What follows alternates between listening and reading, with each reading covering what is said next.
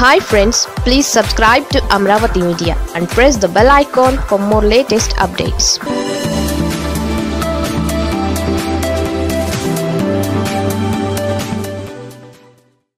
Jagan వద్దనున్న ఆ నివేదికలో ఏముంది? ఏపీ కేబినెట్ వ్యవహారం అంతకంతకు ఉత్కంఠ పెంచుతోంది. సీఎం జగన్ పెట్టిన గడువుతో మంత్రులకు కొత్త టెన్షన్ మొదలైంది. నూతన సాంప్రదాయానికి నాంది పలికారు ఏపీ సీఎం. ఈ నిర్ణయం ఇప్పుడు తీసుకుంది కాదు. తాను సీఎంగా బాధ్యతలు చేపట్టిన నాడే మంత్రుల పదవీ కాలానికి రెండున్నరేళ్ళు అంటూ ఓ లక్ష్మణ రేఖ గీశారు. రెండు సంవత్సరాల ఆరు నెలల గడువు దగ్గర పడుతుండటంతో ఎవరికి పదవులు ఉంటాయో ఎవరికి పదవులు ఉంటాయో ఎవరికి ఊడతాయో తెలియక అందరిలో ఒత్తిడి పెరుగుతోంది.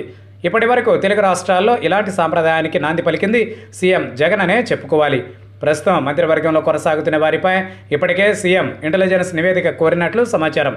మంత్రులతో పాటు నూతనంగా ఎవరికి మంత్రి పదవి ఇవ్వాలో వారి పనితీరుపై నివేదిక ఇవ్వాలని ఇంటెలిజెన్స్కు ఆదేశించినట్లు సమాచారం. త్వరలోనే మంత్రులు ఆశావాహులపై నివేదిక రానున్న నేపథ్యంలో ఈ పదవులపై వైసీపీ నేతలు ఎవరికి వారు లెక్కలు వేసుకుంటున్నారు? ఎవరి లెక్కలు ఎలా ఉన్నా సీఎం జగన్ మాత్రం తన అభిప్రాయంతో పాటు నివేదిక ఆధారంగా ఏ మంత్రులను కొనసాగించాలి ఎవరిని తప్పించాలి అన్న దానిపై నిర్ణయం తీసుకునే అవకాశం ఉంది. ప్రస్తుతం మంత్రులుగా కొనసాగుతున్న చాలామందిపై నివేదిక కోరారట. నివేదిక ఆధారంగా తొలగింపునకు మార్గం సుగమం అవుతుందని సీఎం జగన్ ఆలోచిస్తున్నారనే టాక్ వినిపిస్తోంది. సీఎం జగన్ కోరిన నివేదికలో పుష్ప శ్రీవాణి మేకతోటి సుచరిత తానేటి వనిత ముత్తంశెట్టి శ్రీనివాసులు వెల్లంపల్లి శ్రీనివాస్ శ్రీరంగనాథరాజు కురసాల కన్నబాబు నారాయణస్వామి శంకర్ నారాయణ మేకపాటి గౌతమ్ రెడ్డి గుమ్మనూరు జయరాం ఇతర మంత్రులు ఉన్నట్లు సమాచారం. నూతనంగా మంత్రివర్గంలోకి తీసుకోవాలని యోచిస్తున్న ఎమ్మెల్యేలపై ఇంటెలిజెన్స్ రిపోర్ట్ తయారవుతోందట.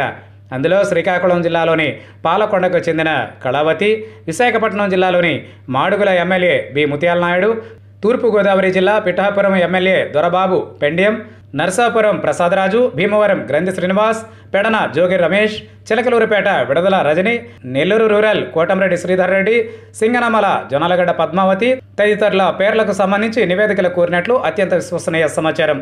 ప్రస్తుతం ఉన్న మంత్రులతో పాటు కొత్తగా ఇంటెలిజెన్స్ ద్వారా సమాచారం తీసుకునే వారిలో ఎవరిపై వేటు ఉంటుంది ఎవరికి పదవి వరిస్తుంది అన్నది ఇప్పుడే చెప్పడం కష్టమని అంటున్నారు. టీటీడీ చైర్మన్ పదవికి సుబ్బారెడ్డి సుముఖంగా లేకపోవడంతో మేకపాటి గౌతమ్ రెడ్డికి టీటీడీ చైర్మన్ పదవి ఆఫర్ చేశారని విశ్వసనీయ వర్గాల వాదన. ఇప్పటికే కార్పొరేషన్ పదవులతో హడావిడి చేసిన వైసీపీ ప్రభుత్వం త్వరలో జరగనున్న కొత్త మంత్రివర్గ విస్తరణకు హంగామా షురూ అంటున్నారట వైసీపీ నేతలు.